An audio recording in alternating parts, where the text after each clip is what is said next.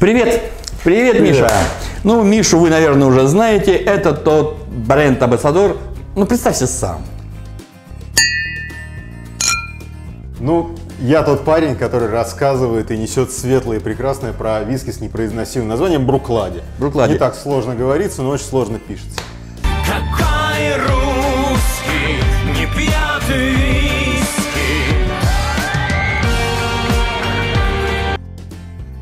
О да, я сегодня принес две бутылки. Одну вот в такой вот несерьезной бирюзовой а, тубе и такого же несерьезного Переведи, бирюзового пожалуйста, цвета. классик что? А, классик лади. Большинство читают это слово как леди и думают, что это действительно женский напиток или какой-то, а, возможно, ликер на основе Ага, мяты, ага. который вот в летнее время как раз очень подходит. Это честный, настоящий а, скотч, шотландский односолодовый виски. Правильно И- говорить, односолодовый или солодовый. Мне нравится вот слово солодовый. И то, и другое. Но наш термин российский односолодовый, он путает очень многих людей, потому что односолодовый люди думают из одного солода сделан, а на практике все несколько иначе. Да. Сделан на одном заводе из соложенного или пророщенного ячменя. Ну там же может быть много сортов ячменя того же Да, самого в да. одном же виске. То есть не один угодно. солод, а солодов много. Да. То есть правильно сказать просто солодовый виски. Здесь нет э, зернового. Зернового нету ни в Ух коем ты, случае. какие стаканчики. Да, здесь написано Бруклади на стаканчиках. Эм, с чего мы начнем сегодня? А, начнем как раз с Презентуй. него. С него. Смотрите. Давай. Вот она бирюзовая туба. А вот показываю прям Я- в упор нашему оператору. бирюзовая туба, из нее появляется вот такая вот бирюзовая бутылка. На бутылке написано, в принципе, да, туба пустая, в ней больше нет бутылки. И вот горшок пустой. Вот горшок пустой, он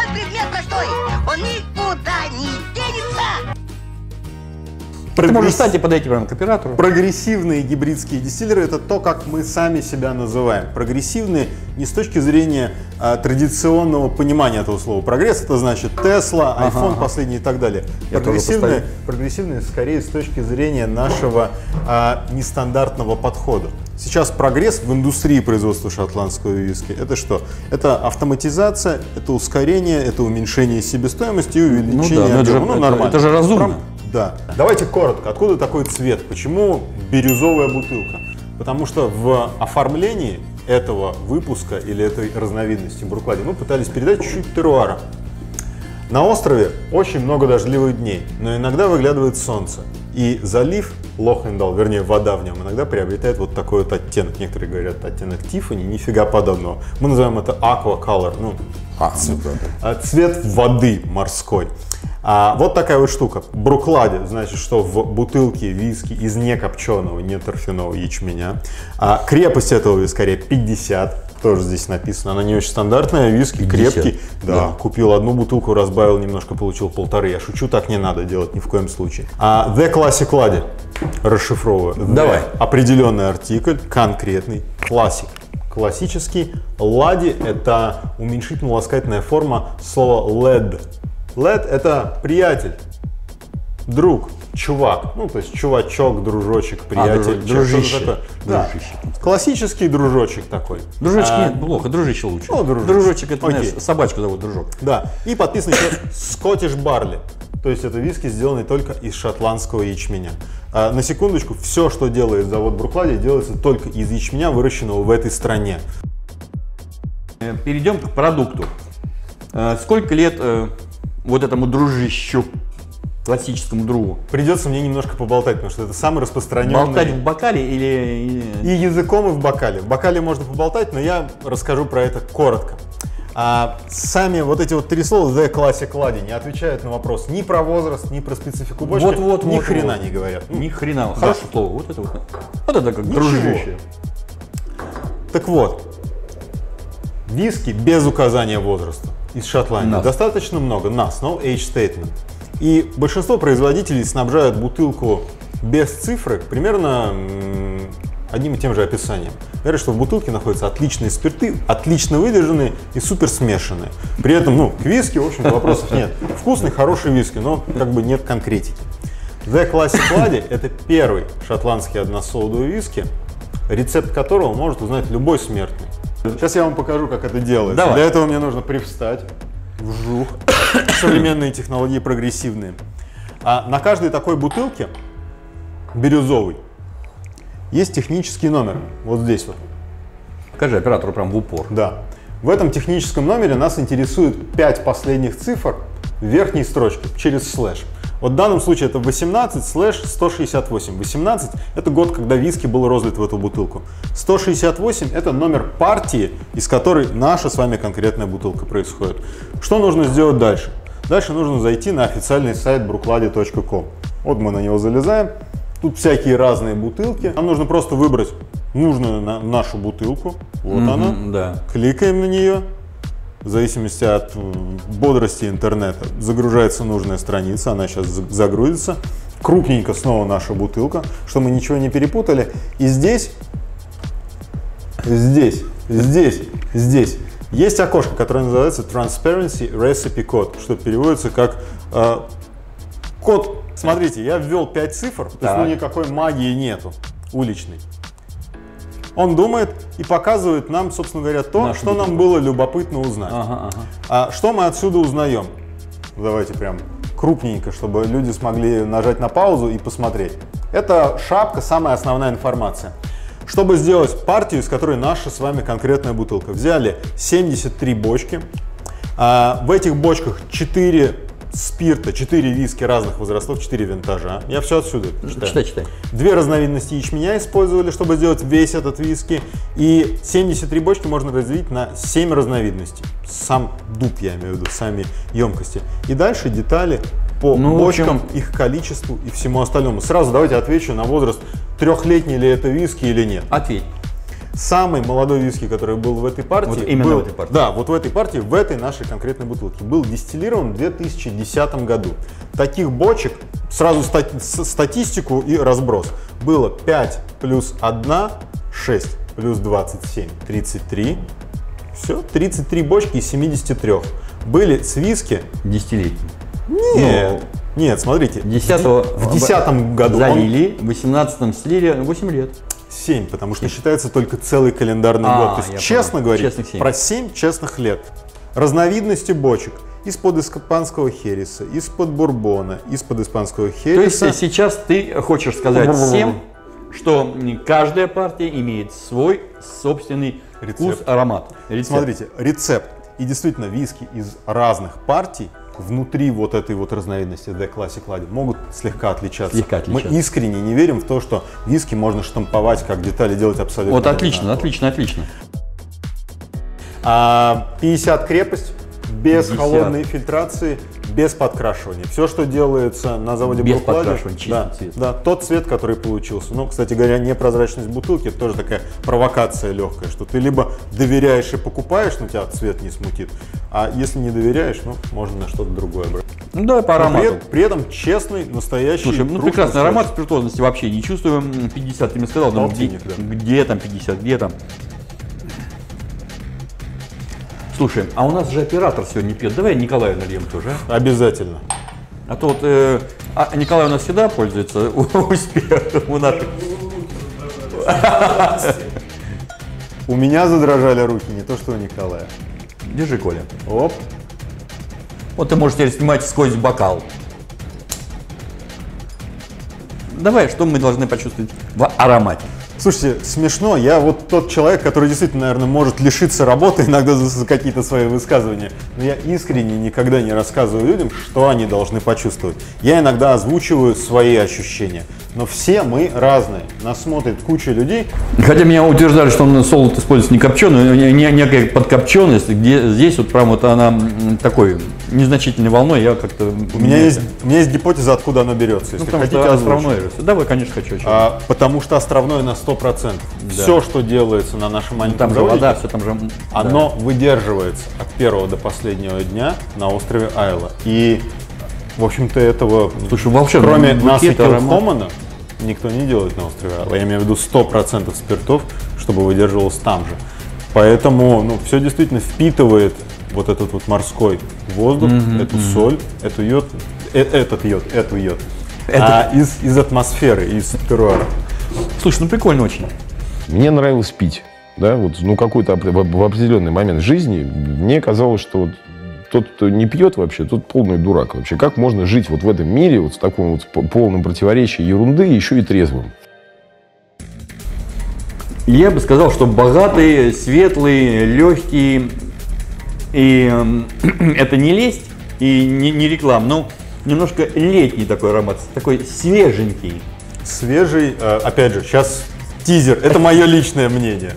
А, на мой взгляд, фруктовый, сладкий, действительно Сладкий, сладкий, легкий да. достаточно виски. И он каждый, каждый раз, каждая партия слегка может отличаться. Потому что, знаешь, привыкли, айловский, это должен быть топит, копченый такой. Да, он должен прям Да, быть да, давящим, да, да, мощным, да, да, да. превалирующим над всем. Ну, давайте. Николай, на троих, как говорится, всегда веселее. Сообразим троих, а? Грешно смеяться над больными людьми.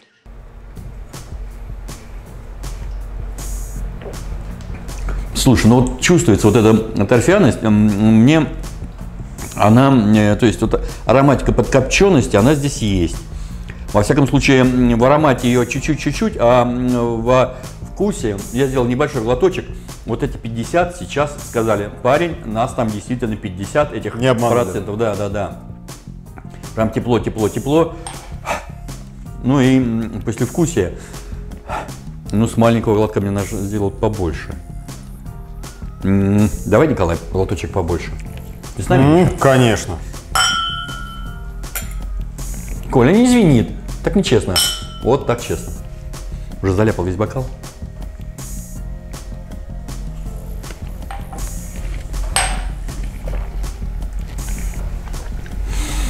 Сладенько, вкусненько.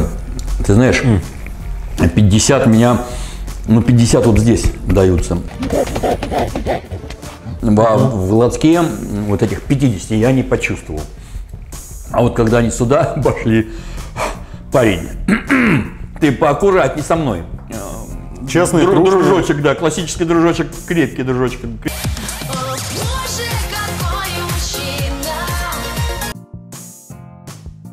Опять же, каждый производитель, он выбирает крепость по своему усмотрению. Вот мастеру показалось, что 50 супер. Если тебе, купившему эту бутылку, кажется, что 50 это много, можно добавить льда. Я не вижу в этом ничего дурного. Повтори А, еще раз вот. Не вижу ничего, да, можно на камеру. Да. Ничего дурного не вижу в добавлении льда, ничего дурного не вижу в добавлении небольшого количества воды, а, газированной воды, сока, камней замороженных, чего угодно. Все это меняет наше восприятие напитка. Итак, вы берете кувшин и наливаете воду в бокал с виски, чтобы снизить градус напитка до 35. 35 градусов по-настоящему идеальная крепость для того, чтобы виски попало на ваше небо. Так, ну что, по глоточку воды и что нас ждет сегодня? И следующий завершающий драм. а, вот это как раз виски, которые можно отнести к монстрам.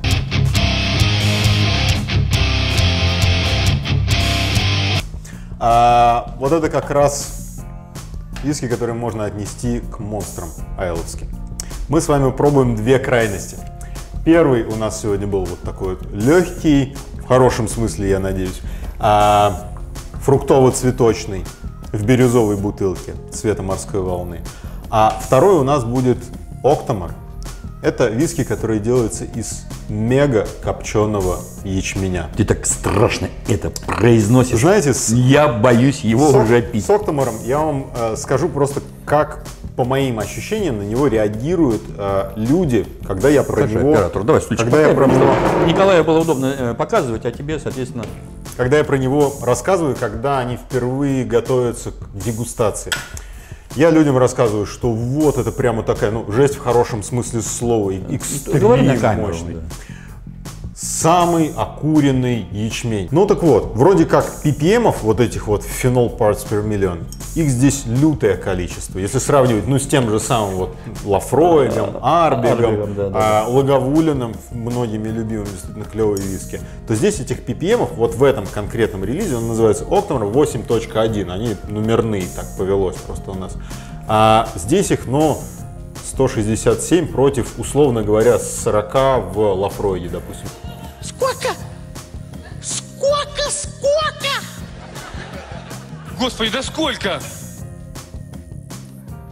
167 против, условно говоря, 40 в Лафройде, допустим. Ну, то есть в 4 с лишним раза. Стоит да? почесаться, да. В 4 с лишним раза больше фенолов впитал ячмень, чем ячмень Может быть, мы сегодня нашу дегустацию просто Так ароматом вот, закончим. Да. И люди думают, сейчас мы попробуем виски с запахом дыма, с вкусом дыма, с послевкусием дыма вот этих вот кирзовых сапог, вот этого криозота. Будем вычищать зубы еще пару дней, но это просто будет жесть. Вот, ну, как бы попробовать, может быть, посмеяться, опять же, в хорошем смысле над собой. Что вот. История с Эктамором самого дымного копченого, началась с очень простого вопроса нашего хед-дистиллера, того вот самого Джима Макьюина. Он однажды приехал на солодовню, которая для нас солодит просто ячмень, не окуривает его для бруклади, и задался очень простым вопросом. А можете ли вы закоптить ячмень, ну вот как-то прям люто, максимально? Мир не видел ячменя куриного больше, чем, если я ничего не путаю, 80 ppm на тот момент. И это был уже потолок, это было что-то нереальное. В общем-то, его ну, никто такими цифрами не интересовался, не было Не как-то... пиарил, да. Да. И Джим говорит, слушайте, можете вот прям закоптить люто, немножко ячменя, мы попробуем сделать из него Небольшую. Просто, да, Да, эксперимент. экспериментальным таким вопросом задался. А что если? А вообще получится закоптить? А если получится, получится ли сделать виски? Так родился Октомар. Все ждали как раз, что будет просто напиток со вкусом, ароматом, послевкусием дыма и так далее. Ага. Ну, пипец будет полный. Наливай. Это уже виски бочковой крепости. Ты меня пугаешь. 59,3. Ну. А, он делается без холодной, 59,3. да, он делается без холодной фильтрации, без подкрашивания, просто у нас нет оборудования, нет ни для того, ни для другого. Миш, расскажи, пожалуйста, нашим зрителям, ну и лишний раз я услышу из э, уст профессионалов, что такое холодная фильтрация и для чего она вообще делается. Холодная, Пожалуйста. холодная фильтрация. Если очень емко, это процесс. Вот туда расскажи. Да, да, да, да, да. Это процесс удаления э, сложных органических химических соединений из алкоголя. В основном это масла. А, ну, не секрет, что масло при низкой температуре оно затвердевает обычно, а если его нагреть, оно плавится. Ну вот сливочное масло, допустим, можно вспомнить. И масла присутствуют в виске, в роме, в коньяке, потому что они туда попадают из браги в процессе перегонки. И определенным образом а, разные химические соединения, сложные виды изменяются в процессе выдержки от окислительно-восстановительных реакций. И они там есть. То есть, если ты просто берешь напиток из бочки, там есть эти масла. По-любому. Они, а, в общем-то, формируют текстуру, ароматику и определенные вкусовые нюансы тоже могут придавать напитку. Что делает большинство производителей? Перед тем, как разливать напиток по, бутыл- по бутылкам, бутылировать его, они напиток охлаждают, таким образом До вызывают температуры. а, если я ничего не путаю, вот здесь вот я могу ошибаться, по-моему, 4 градуса. Точно, 4. А, и пропускают Именно через, об этом я читал, да. пропускают через фильтр. Ну, грубо говоря, масло, да. масло выпадает в осадок, и оно остается на этом фильтре. А кто-то, ну, есть такие виски-энтузиасты, которые говорят о том, что холодная фильтрация, она уда- удаляет, убивает Часть душу аромата, напитка, а, убивает часть ароматики, текстуры и так далее. А кто-то говорит, обычно это от производителей можно услышать, что простой обыватель, простой потребитель, ну не сможет отличить, вот перед ним поставь два стакана, один был подвергнут холодной фильтрации виски, а другой нет. Ну, то есть разницы человек не почувствует. А мы не знаем. Мы никогда не экспериментируем, просто потому что у нас нету такой технической возможности. У нас оборудование старинное, а технология относительно новая, молодая. Для чего делается холодная фильтрация? А, для того, чтобы обезопасить себя с точки зрения репутационных рисков. То есть, Я не понял! Не понял? Сейчас поймешь. Допустим, в Шотландии или где-нибудь на островах Карибских сделали, соответственно, виски или ром. Холодной фильтрации не стали подвергать. Сломался у них этот аппарат, просто разлили по бутылкам, и вот эти бутылки едут через всю нашу страну. А на улице минус 35, минус 37, Всё едет хорошо. фура, все отлично. А фуры это довозят до какого-нибудь Норильска, наконец, ну хотя до Норильска на фуре не очень доедешь, ну допустим. А, доводят, довозят эти бутылки и из магазина, допустим, розничного выходит добрый, хороший человек в китайском пуховике, чтобы принять эти бутылки и поставить их на полку, и люди их смогли купить. И он просто ради любопытства достает одну бутылку из коробки.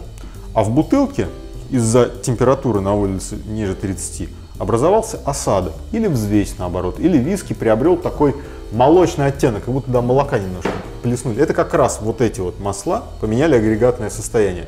Что этот человек сделает? Он скажет, я это принимать не буду, со своей фурой давайте езжайте, откуда вы приехали там. И, естественно, закрепится убеждение, что бренд этот производит либо что-то низкокачественное, либо этот бренд подделывают. Кому это интересно? А абсолютно никому. Поэтому производитель, дабы обезопасить себя, делает холодную фильтрацию и даже И при любой минус- температуре э, ваш напиток не помутнеет. Абсолютно верно. Да, вот такая вот штука. Слушай, ну аромат меня просто вот тот лю- любимый, э, который э, аром- ароматик, который я все время вылавливаю в черной этикетке самого знаменитого э, пешехода. Вот, вот это вот э, мне, нравится слово э, больничка, э, криозот, деготь но в то же время э, э, он такой легкий и ласковый, знаешь, вот если, если вот э, в этом самом Лафроге, Артбеге вот этот аромат, он аж... Здесь он легче почему-то, Да. я не знаю. Ставлю- Хотя тут эти ppm, я, я ж- ожидал же здесь и валяться. Ставлю свои 5 копеек. Вот стилистическое отличие копченого виски из дистиллерии Бруклади, это Актамор и Порт Шарлот, от наших соседей, от Лаговулина, Арбига, Лафроига, э, Ну, Бома в какой-то соседи, степени. это остров-то, да, да, да. там его- Вс- Все друзья, все соседи, да, там да, нету да. какой-то там Да. жесткой конкуренции именно Да, да, да. такой человеческой. А стилистическая разница в том, что Порт Шарлот и Актамор, они не богаты на медицинские тона. Вот то, чего достаточно много у наших соседей в их напитках. Там, да, да, да, там более, скажем так, а- агрессивные вот эти вот. А здесь, и вот чем дольше я держу Не бокал... удержался, попробовал, извините. Ну давай. Давайте, друзья, прям не терпится мне его попробовать. Сколько ты говоришь, что градусов-то? Зачем терпеть? 59,3. 59,3. Эй, ваше здоровье, марсиане. Василий Евграфович, ну это уже было. Вы три раза предложили за здоровье. Давайте выпьем за что-нибудь другое, например, за удачу. Он говорит, молодой человек, надо пить за здоровье. Мне вчера подвернулась удача, а здоровья не хватило. А номер выпуска 8.1. Количество ppm тоже есть на бутылке. И выдержка 8 лет. Сколько вот этот парень стоит на витринах магазинов, может стоить? Э, Честно скажу, Актамор это не то, что можно встретить в обычном продуктовом магазине. За, Пятерочку за, не купишь. За, за такими вещами нужно идти либо в винный бутик, либо в какой-то Ага, специализированный магазин. Но я думаю, что ориентироваться нужно на цифру в 15 тысяч вот по такой бутылке. Да, это дорогое удовольствие. Друзья, но попробовать, Ну, ну- что такое 167 ppm, другой опции нету. То есть невозможно сэкономить, пойти в пятерочку и какую-нибудь другую бутылку с такими параметрами. Естественно, только шотландский ячмень, без холодной фильтрации, без подкрашивания. Так как Слушай, ну, должен мы делать. будем заканчивать наш э, сегодняшний выпуск. Я м, резюме кратенько этим, этим напитком, да. Э, хорош, интересен, э, ну, если обидит тебя, не обидит, а не- стандартный, э, тот шотландский солодовый виски, к которому я привык, который м, хорош, плотен, ароматен, ну, в широком смысле этого слова. А вот это вообще теперь мой новый герой. Прям, прям, прям супер. Великолепен напиток. Пожелай что-нибудь, пожалуйста, нашим э, зрителям, подписчикам канала Марс Клуб. Эм, Что пить летом, в каких количествах, в какой компании? Слушайте, ну я воспользуюсь возможностью сделать рекламу. Давай. Штука в том, что завод Бруклади это единственный завод, единственная дистиллерия на острове, который делает не только виски, три разновидности. Бруклади, Порт Шарлотт и Актамор. Но делает еще и джин. Джин есть вот там вот на полке у нас. Да ладно, еще джин? Да, джин-ботанист. Джин-тоник с ботанистом – это вообще суперский летний напиток. Слушай, Очень давай вкусно. следующий мой приезд в Москву мы обязательно продегустируем, ну и расскажем нашим зрителям о джине, почему нет. Обещаю, гарантирую просто. Всего, а ты не пожелал нашим зрителям ничего? Желаю вам попробовать ботаниста, пока мы его не продегустировали виртуально на YouTube. Всего вам доброго, подписывайтесь, ставьте лайки, нажимайте на колокольчик. И помните, э, в бокале философия, а в бутылке целые приключения иногда на ту точку, на которой мы иногда сидим. Всего вам доброго, пока, до новых встреч, пока-пока.